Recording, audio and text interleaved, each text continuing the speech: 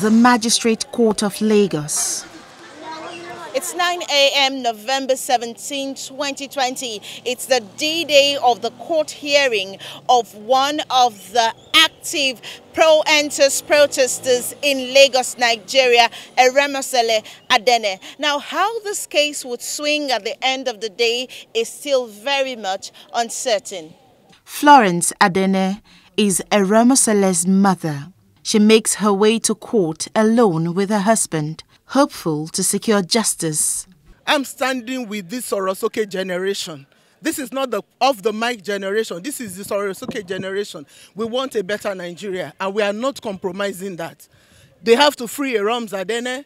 Protest is fundamental human rights, and we are fully in support of Eromosele Adene. The court seating is built for 9 a.m., but it is 10.03 a.m., and there is no sign of the magistrate or the court officials. The court premises turns a little rowdy as some mild drama ensues as friends and sisters of Eromosele are not allowed into the premises of the court. So this is um, you, you people join us. What you want? We will fight for salaries. Yes. We fight for salaries. Police officers last year. I are denying me right to go court. For what? If anything from my bag.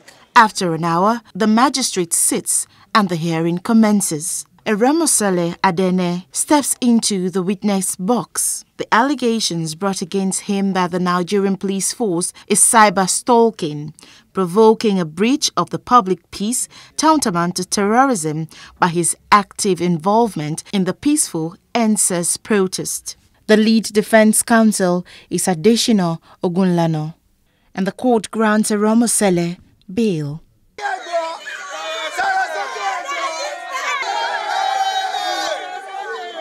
I feel today's judgment was good. Today's judgment was fantastic. Unlike yesterday, the court today, the magistrate today, everything was everything was good. Eromosele means my prayer is answered. That's in his name. And we have prayed today and God has answered us again. He has been answering us before he was born. He has been answering us since when he was born and he's still answering us. Even in his situation, he's still answering us. They are trying to criminalize protests and all that. And we told the court that you've used 11 days to arrest him, you mean you've not investigated enough? You want to derogate from his fundamental rights enshrined in the Constitution. The judge agreed with us.